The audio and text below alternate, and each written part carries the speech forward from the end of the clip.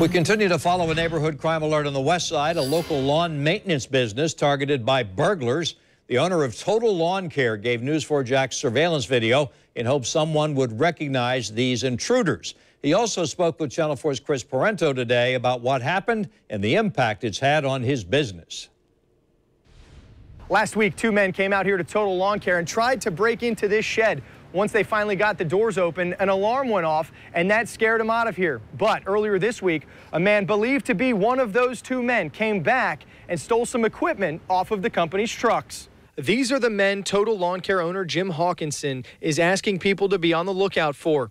He says one of the men broke into his West Side store and took about $1,400 worth of equipment early Tuesday morning. Beyond the loss, there's also this sense of invasion, this sense of out of control, frustration of trying to manage things. It's, it's hard enough. And then you put these crazy variables in like this, it gets, it, it's, it, the morale of the whole organization sort of suffers. Hawkinson says someone would notice his equipment if they see it. They paint everything with this bright green color to make it stand out. They also engrave the company name on everything. It's every safeguard you could take. That's what we figure.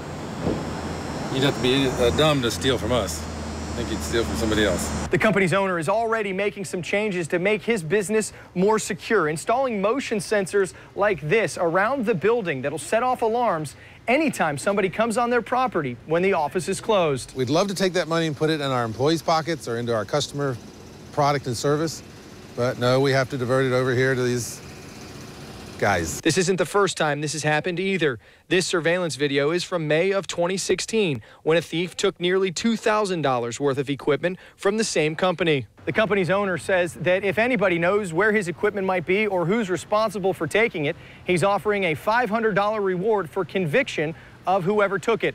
We posted information for how to contact Total Lawn Care on our website, news4jax.com. On the west side, I'm Chris Parenteau, Channel 4, the local station.